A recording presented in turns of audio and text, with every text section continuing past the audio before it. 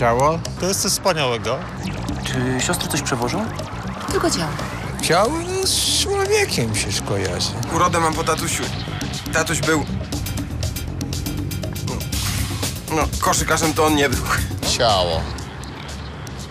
To po włosku, ciał. Trudno mi uwierzyć, że przez półtora roku mieszkałem pod jednym dachem z facetem, który zastanawiał się, kto walił kangura. body. this is your body. I mean, the thing you are living in. Pedały! Nie, skąd? Nie ma się czego wstydzić, ludzka rzecz. Ciało kojarzy mi się również z gwiazdą. Spokojnie, bo cię rozwalę. Coś, co Pan Bóg stworzył, Zmartwychwstał. O rany boskie. To co to jest? Trumna. No, ciało to się wiąże z chlebem. Dosypuję do alkoholu żelatynę, czekam aż zgęstnieje i potem zjadam. Może się rozłożyć. Ten pan nie oddycha. Pani nie wie, co to jest ciało? Ciało. Reżyseria Konecki i Saramonowicz. Dzień dobry, nazywam się Tomasz Konecki, a to mój przyjaciel Andrzej Saramonowicz. Potwierdzam, tak. Zapraszamy Państwa na plan filmu Ciało. 1267, Tu jest pierwsza pozycja i teraz pamiętajcie, że to jest rodzaj dialogu, którego nie rejestrujemy. Dochodzicie do takiej pozycji, żebyście się na kontrplany nam ustawili, czyli dwie siostry a wy chłopaki już idziecie tam. Dobrze? Bo to jest miejsce do przecięcia dla nas. Po sukcesie półserio w Gdyni e, rozmawialiśmy z kilkoma telewizjami na temat na, następnych projektów, między innymi na temat projektu, który napisał Andrzej, e, mianowicie e, scenariusza filmu Ciało. E, oczywiście te rozmowy się toczyły w dość e, typowy dla różnych telewizji sposób. Dopiero po dwóch latach spotkaliśmy producenta, pana Mariusza Łukasiewicza, który zainteresował się tym projektem i uwierzył, że można w niego zainwestować. E, Ja napisałem ten scenariusz w 98 roku na początku dla Kanału Plus. I już wtedy liczyłem, że on zostanie szybko zrealizowany, ponieważ wszyscy mówili, że to jest dobry scenariusz. A minęło e, 4,5 roku. O, o tym, że Tomek, czy też, że my mielibyśmy go e, realizować, e, o tym była mowa dopiero po półserio. Wcześniej, e, wcześniej tak nie było.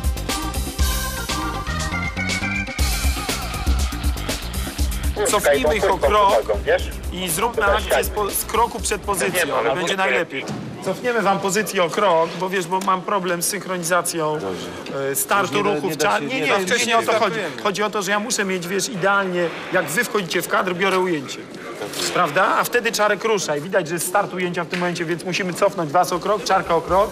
Na akcja wy się rozpędzacie, ja sobie tnę w momencie, kiedy wasze ruchy są w pełni naturalne.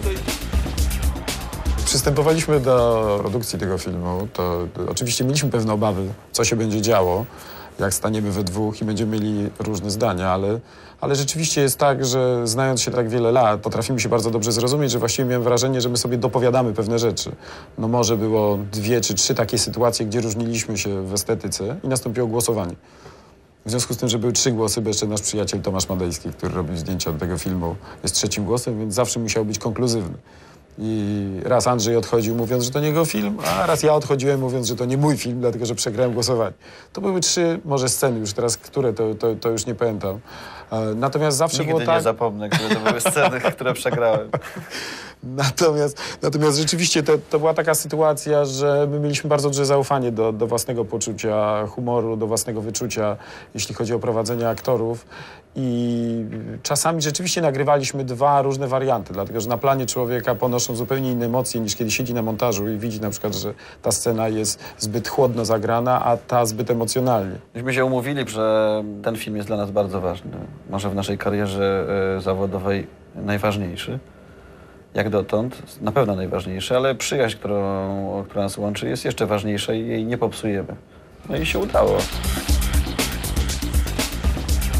powinniście mieć jakby sposób ruchu, który jest gładki. Na pewno dobrze, ładnie to wygląda w nachylaniach, bo wtedy automatycznie jest to, że Płynnie zrobimy. płynnie. Chodzi o to, że... no, bierzemy tutaj taką pozycję, że stąd zaczniemy. No. I przełożenie ciężaru z nogi na... No dobrze, no. Całe szczęście, że jeszcze nie gnije. O, dobrze wychowany. Jak wpaść do kogoś i się zepsuć, też bym się krępował.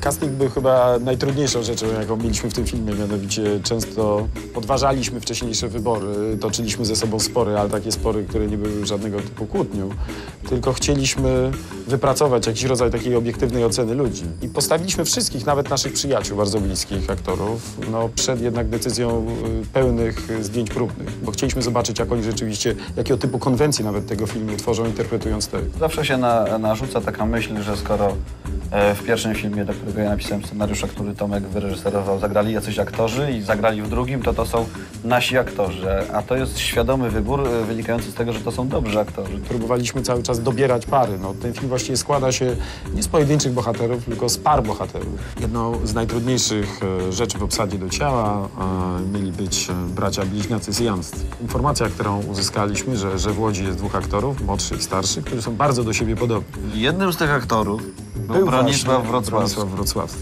Senatorze, niech pan da mi jeszcze szansę. Mam informację, że jakiś gnojek z jakiegoś warsztatu chciał sprzedać nasze dokumenty prasie. Odszukaj go, zanim inni to zrobią. Tak jest. Bliższe przyjrzenie się aktorowi wrocławskiemu poproszonemu o to przyjście na casting spowodowało, że pomyśleliśmy o nim jako o świetnym odtwórcy roli Tulei. Zobaczyliśmy, że ma niezwykłą wiskomikę twarzy. To znaczy jego możliwości, e, kiedy przyglądaliśmy mu się uważnie, e, no są rzeczywiście rozpięte między rolami super dramatycznymi i super komediowymi. Wśród wielu y, ciał występujących w tym filmie pod tytułem Ciało, ja wcielam się w dwie postacie. Piotra Westa i Mariana Tuleja. To są bracia, bliźniacy. Piotr West, słucham. Marian Tuleja. Jestem w Krakowie. Naprawdę? Bardzo się cieszę. Odkąd pierwszy raz zadzwoniłeś, ciągle o tym myślę i wciąż nie mogę uwierzyć, że cię zobaczę. Nikomu nie mówiłeś o mnie? Żonie? Nikomu, jak prosiłeś. Zrobimy jej niespodziankę. Piotr West króciutko występuje w tym filmie, ponieważ jego brat, bliźniak, łobuz, nie ma co ukrywać, prawda, chcąc y, no, wykręcić się z ciała pewnej organizacji, używa swojego brata, bliźniaka no, do, do niecnych celów. Co pan tu robi, pułkowniku? Spacer przed obiadem. Waza, radzę ci nie podskakuj. Bo gdyby to ode mnie zależało, to byś spierdla nie wyszedł. Na szczęście nie zależy. Zna pan mojego brata? Bardzo uczciwy człowiek. Gramy braci e, trzecich. E, ja jestem e, Henryk, Zygmunt. Jesteśmy rzeczywiście zrośnięci. Bliźnięta zdarzają się rzadko, a bliźnięta siamskie szczęśliwie jeszcze rzadziej. Ale ponieważ to jest rzadki przypadek, to i w aktorstwie e, nie ma zbyt wielu aktorów, którzy są bliźniakami. Ewa Brocka, która jest drugim reżyserem od castingu, zaproponowała, żeby zagrali to e, bracia Jacek i Cezary Poksowie.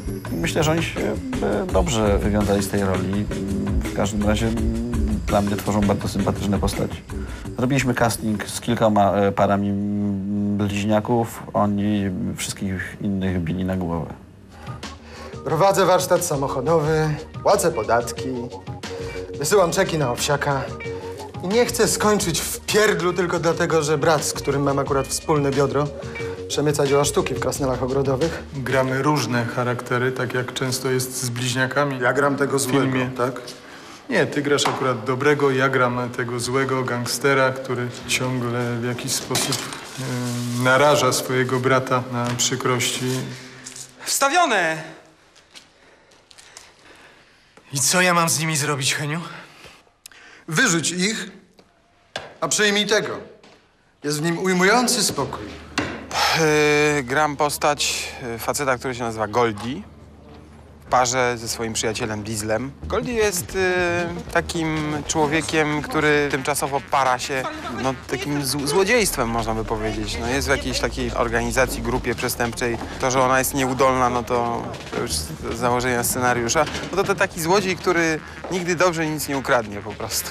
Tomek Karolak to aktor, który w fazie ustalania przez nas obsady musiał uczyć się chyba najwięcej, dlatego że co chwilę testowaliśmy go do innych ról. Myśmy go poznali prywatnie, całkowicie przypadkiem. Po półtorej godziny rozmowy z nim, yy, kiedy się rozstaliśmy, wiedzieliśmy my z Tomkiem, yy, wymieniając uwagi, że ten facet musi zagrać w ciele, jeżeli kiedykolwiek je zrobimy. Ponieważ ma w sobie yy, jakiś rodzaj niezwykłej, budzi jakiś rodzaj niezwykłej sympatii. Tomek Karola grał w, w takiej parze filmowej ze Zbyszkiem Zamachowskim, Dieslem filmowym. Ja sądzę, że dla niego to było niezwykłe wyzwanie, bo Zbyszek jest chyba jednym z najbardziej doświadczonych filmowych polskich aktorów, wybitnym całkowicie. Więc dla Tomka na pewno była to, było to olbrzymie wyzwanie, to znaczy, żeby e, przy jego debiucie, kiedy on jeszcze nie czuje dokładnie obecności kamery, szerokości planów, e, powtarzalności, wiele emocji, no, żeby, żeby nie ustąpić pola Zbyszkowi. Chłopaki! Próba nadal? Tak, oni muszą mieć tą trumnę włożoną prawie. Musicie mieć włożoną tą trumnę nabić jeszcze. Tak, żebyście, tylko oczywiście pod kamerę musicie odsłonić trumnę. Czas, czas i już, i kul. Dobra. Dobra? Mówi, że ma. Bo wiesz, ja mam z nimi kłopot, bo one, no co, Dobra. zagrają raz machnięcie, drugi raz machnięcie, nie słyszą dźwięku, nie mają prawa się odwrócić. Dobra, my tylko poczekamy na kamerkę, bo mamy prawo sobie spokojnie tam patrzeć, bo na niego. Tak, tak, tak, tak, no, tak, tak. Jak zobaczymy, Dobrze. że kamerka wjeżdża za tego, to już... To trach! Trach i już. Jesteśmy rozumnymi aktorami. Jest to mój taki m, pierwszy film, który to, to w ogóle to jest y, dla mnie wielka przygoda. To, to na drugim miejscu jest spotkanie z Zbyszkiem Zamachowskim i praca ze Zbyszkiem Zamachowskim, od którego no, tak, tak wiele się nauczyłem, który dał mi y, tak dużo z siebie, że wy, wydaje mi się, że mi to bardzo pomogło. No dobrze, kolejna próbeczka. Co ten Goldie? No jeszcze go nie dorwałem. Ale jak pan sobie życzy. I tak skończy w wapnie. Jeżeli chodzi o obsadę ról y, siostrzanych czy zakonnych, czyli siostry Morrison i siostry Felicyty, to była sprawa o tyle prosta, że od początku wiedzieliśmy, że siostrę Morrison y, powinna zagrać Maja Hirsch, y, którą widzieliśmy jako jeszcze studentkę i która nam się bardzo podoba jako aktorka i chcieliśmy, żeby zagrała w czymś, co będziemy robić. Problem jest w tym, że Maja jest osobą, y, powiedzmy, nadmiernie żywiołową i trzeba było znaleźć taką aktorkę, która tę parę zakonną uwiarygadniałaby. I ja sądzę, że Izakuna spełniła tę rolę doskonale. Akcja!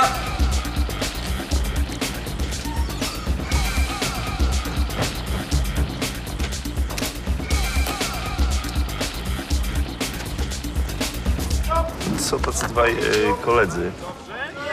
Cezar, którego ja gram, i Julek, którego Robert e, gra.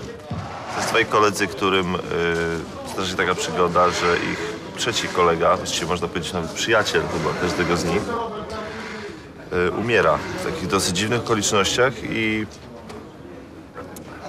no i ta śmierć kolegi zbliża ich. Tak. Na początku do siebie tak trochę nieprzyjaźnie nastawionych y, dwóch ludzi. W miarę, w miarę rozwoju sytuacji jakoś tak zbliżają się do siebie. Myślę, że nawiązuje się między nimi coś w rodzaju przyjaźni. Przyjaźni. Uważaj, gówniaro! Ty patrz, to ten świr. Nie, tamten miał inne ubranie. Jasne. No to żaden dowód. Wiesz, jakie są świry. Przepraszam pana. W dupie mam twoje. Przeprosiny. Jeżeli będzie pan wulgarny, to moja babcia pana skarci. Dotkliwie. Gram taką pomocniczkę mor... Ja jestem taką małą... Dzięki, co ona będzie? Nie wydawaj się, Boże, kochanie dziecko. Proszę cię bardzo. To wymaga tego tajemnica filmu, tajemnica zawodowa. Bąbelku, no, tak cię babcia prosiła. No dobrze. No, pocałuj no. Nic nie mogę powiedzieć. Bardzo baliśmy się obsady, jeśli chodzi o wnuczkę, o Olę. Poprosiliśmy o duży przegląd dzieci. Naprawdę zobaczyliśmy dość wiele dziewczynek, które czy pasują do tej roli. No. Okazało się, że, że bardzo wiele z nich oczywiście czuje się swobodnie przed kamerą, ale żadna nie wnosi jak, jakiegoś takiego poczucia tajemnicy. Ta Ola, która w tym filmie gra bardzo specyficzną rolę. Rzeczywiście musiała mieć sobie coś, co na pierwszy rzut oka od razu się czuje. I rzeczywiście weszła nagle taka dziewczynka, po obejrzeniu tam kilkunastu dziewczynek, z których lepsze były niektóre, inne gorsze. I nagle powiedziała do nas takim niskim, lekko zachrypniętym głosem, spojrzała olbrzymim okiem i, i nagle w kamerze od razu wiedzieliśmy, że to jest to. To znaczy, to jest taka dziewczynka, która buduje wokół siebie e, ewidentnie dziwny klimat. Już więcej nie, nie potrzeba było. To, to już właśnie casting skończył się w tym momencie. Ola, Oleńko, poprosiłam cię, żebyś nie biegała po sklepie. Ja mam dużo roli Wandy. Wydaje mi się, że wielkie szczęście mnie spotkało, że mam taką wspaniałą wnuczkę, którą żeście Państwo przed chwilą zobaczyli. Zdolne dziecko. W przypadku babci Wandy chodziło o to, żeby to była postać, która nie będzie e, rozpoznawalna od początku, jaką funkcję pełni w tym filmie. Czyli ciepła, taka typowa babcia, no. W stylu, tak myśleliśmy, w stylu Ludwiżanki nawet. Znaczy aż z takim rodzajem słodyczy w sobie. No i Emilia Krakowska, e, dzięki jej osobistym przymiotom, e, ciepłu, sympatii, którą budzi, była e, jedną z faworytek do tej obsady. Poprosiliśmy panią Emilię, żeby pomogła nam jeszcze w castingu na dzieci. Chcieliśmy zobaczyć, które z nich przy niej dobrze się czują. I widać było, że, że tam jest taki rodzaj kumplowania się. Były takie dwie dziewczynki chyba jeszcze przez chwilę ze sobą współzawodniczyły, ale rzeczywiście Ola, która miała to niezwykłe spojrzenie, ten niezwykły rodzaj e, barwy głosu, który, który posiada, tworzyły jakiś taki niezwykły zupełnie team. No team, który tak nam się wydawał w kamerze, że zaczyna być taki, że pani Emilia jest niezwykle, niezwykle ciepła, a w tej Oli jest rodzaj takiej szelmy, która ma jakieś dziwne plany, o których dopiero widzowie dowiadują się pod koniec filmu. Ten pan nie oddycha.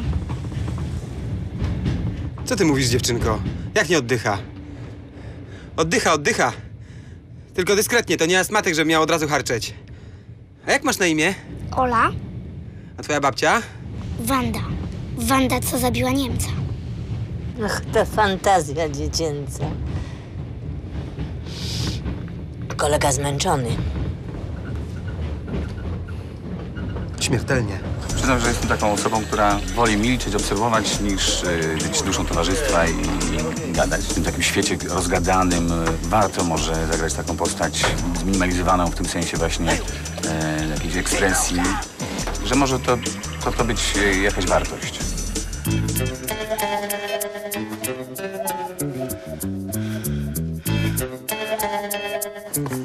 No.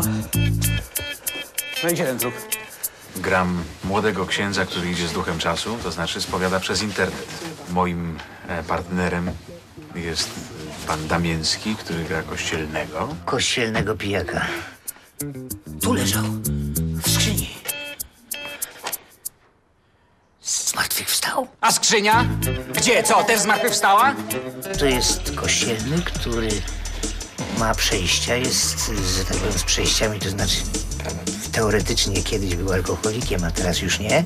No i życie go zmusza do nie, bronienia swojego, to znaczy, że okazuje że on jest trzeźwy, a wydaje się, że on musi być w cztery litery pijany, bo takie rzeczy mu się dziwne przydarzają, że nikt normalny w to nie uwierzy. Co się dzieje? Kto to jest?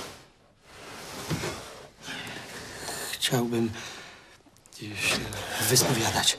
Ale ja nie mogę, ja, ja jestem Moją ostatnią nadzieją. Już na początku prac nad, nad tą obsadą widzieliśmy, że tak zwane epizody w tym filmie są równie ważne właściwie jak te pierwszoplanowe rzeczy. Tu jest tak wiele wątków, że w sumie rozróżnienie, czy ktoś jest epizodem, czy jest jakimś pierwszoplanowym aktorem, w tym filmie jest, jest, jest bardzo trudne. Znaczy te epizody mają tak wiele miejsca na ekranie, muszą być tak silne, bo jest ich tak wiele, że no, naprawdę olbrzymią wagę przy, przykładaliśmy do znalezienia właściwych aktorów. I tutaj Co więcej, powiedzieliśmy sobie, że polegniemy, polegniemy jeżeli epizody e, Położymy. położymy. To znaczy, jeżeli, jeżeli aktorzy, nie znajdziemy tak dobrych aktorów, którzy uczynią z tego e, zapamiętane e, fragmenty filmu. Piotrek, on gra tego księdza w taki sposób, gdzie ja czuję, oprócz tego, że, że jest jakąś osobą błogosławioną, to jednak jest również fajnym mężczyzną. Tam, I to się czuje. On nosi pewien rodzaj fajnej, takiej lekkiej energii do tej postaci, która w tym krótkim rozbiegu, tych paru minut, ile ten epizod znajduje na ekranie miejsca, rzeczywiście jest bardzo zauważalna. A Pan Maciek y, Damiński jest osobą o tak śmiesznej fizyczności w tej chwili, o tak on się cudownie fotografuje, jak on idealnie wyczuł nasze, nasze intencje, nie przerysowywał tej roli. To jest niesamowite e, e, e, odkrycie, kiedy się okazuje, że aktor dodał tak wiele do roli skądinąd epizodycznej, że ja się śmieję, widząc go, niezależnie od tego, że ja napisałem ten tekst, że myśmy go wyreżyserowali i że widzieliśmy go 500 razy przy montażu. Święty Antoni zapakowany? Leży w skrzyni. Trochę żal, nie? Tyle lat. Przecież biorą go tylko do konserwacji. Odnowią go i wróci. Mimo, mimo to trochę żal. Zżył się człowiek.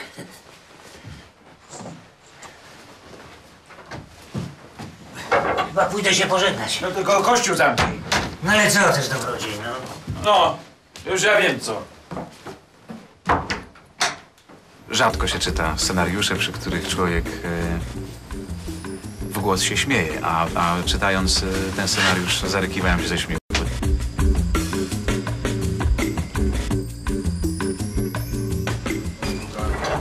Teraz to już nic nie będę widział. Nie daliście mi żadnych szans. Akcja! Taliban pieprzony. Panowie tworzą duet prawie że jedno ciało, ale duchowo są trochę różni, ale zgadzają się bardzo. Coś tam sobie po cichutku szepczą, ale w rezultacie ich uwagi są bardzo celne. Wydaje mi się, że trójca y, Saramonowicz, Konecki, Madejski, no to jak jedno ciało. Pytanie, dlaczego y, my, my pracujemy z Tomkiem, y, z Tomkiem Madejskim, Tomku Konecki, jest takie, jak dlaczego jest ze swoją żoną lat 20 i się jeszcze nie rozwiódł. Y, No bo to jest udane małżeństwo. My sobie nie wyobrażaliśmy, że jakikolwiek projekt poważny, który byśmy robili, filmowy, e, moglibyśmy zrobić z innym operatorem. Są to ludzie młodzi, którzy postanowili po prostu dać znać o sobie. Nie chcą y, należeć do pokolenia nic. Precyzyjnie napisany jest bardzo scenariusz. Wydarzenia w, tym scenariuszu są tak pokazane, jak nie były jeszcze w, po, w polskich y, filmach komponowane. No one się przeplatają, są cztery wątki w zasadzie. Y, gdzieś przypadkowo się spotykają, potem y, specjalnie się spotykają. No, trzeba śledzić te akcje z dosyć, z dosyć dużym, z dużą uwagą. Wydaje mi się, że można stawiać ludziom odrobinę bardziej skomplikowane wymagania y, intelektualne. Y, I ten scenariusz taki jest, taki jest. On jest, on jest w gruncie rzeczy dosyć prosty, o ile się za, za, za często głowy nie pochyla y, do torby z popcornem. To można zrozumieć go bardzo dobrze. Tak? Czy, agres, czy arogancki byłem? Nie, nie byłeś arogancki. Jestem raz. Nie powtarzamy o tym, że ciało? Że ciało? Tam to było nieudane. Tam to było słabe. Słabe było. My byśmy jeszcze powtórzyli z tym ciałem. Co? Kochani, przyjdźcie na ten film. Błagam was, przyjdźcie, bo inaczej nie zrobimy następnego filmu. Błagam, przyjdźcie na ten film.